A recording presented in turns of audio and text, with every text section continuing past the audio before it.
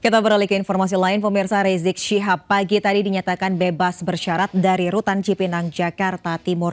Ratusan pendukung pun menyambut kembalinya Rizik di kawasan Petamburan, Jakarta Pusat. Rizik Syihab dijemput sejumlah kerabat dan penasehat hukumnya dari Rutan Cipinang, Jatinegara, Jakarta Timur pukul 6 lewat 45 menit waktu Indonesia bagian Barat. Rizik dinyatakan bebas bersyarat setelah ditahan sejak bulan Desember 2020 terkait kasus kerumunan di tengah masa pandemi COVID-19.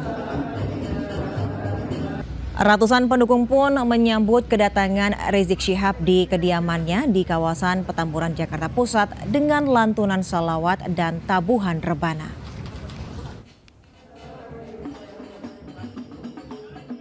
Pada akhirnya juga harus keluarga juga yang harus memberikan jaminan untuk pembebasan bersyarat. Jadi ini sengaja saya garis bawahi pembebasan bersyarat saya bukan pemberian partai politik, bukan pemberian pejabat, eh, bukan pemberian kekuasaan, bukan. Tapi ini merupakan satu proses hukum yang nanti akan dijelaskan oleh para pengacara saya dan yang memberikan jaminan adalah istri saya tercinta dan untuk mengetahui suasana terkini di kawasan Petamburan Jakarta Pusat, kita sudah terhubung dengan reporter Calvin Tonggi di sana. Calvin, silakan laporannya terkait kebebasan Rizik Syihab.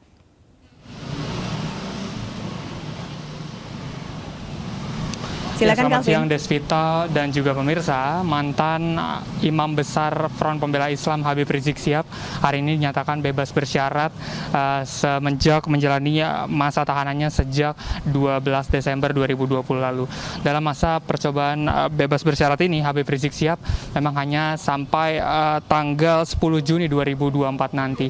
Menurut uh, keterangan dari Humas Kemenkumham, Habib Rizik keluar dari rumah tahanan Baris Krim Mabes Polri ini sekitar pukul 6 lewat 45 pagi tadi. Dan untuk itu menurut pantauan kami sejak pagi tadi hingga dengan siang ini, di kediaman Habib Rizik Sihab ini mulai berdatangan para simpatisan dari Habib Rizik Sihab itu sendiri. Dan tadi juga sempat dilakukan penyambutan Habib Rizik Sihab uh, oleh keluarga di rumah kediamannya sekitar pukul 7 lewat 18 waktu Indonesia bagian Barat baik dari ketua-ketua FPI, GNPF, PA212 dan juga para ulama-ulama besar. Dan diketahui memang terdapat sejumlah kasus yang menjerat Habib Rizik Sihab, di antaranya eh, kasus kerumunan Petamburan yang uh, karena itu dia difonis hukuman 8 bulan penjara di PN Jakarta Timur. Kemudian kasus yang sama juga terjadi Habib Rizik Sihab uh, dihukum difonis denda 20 juta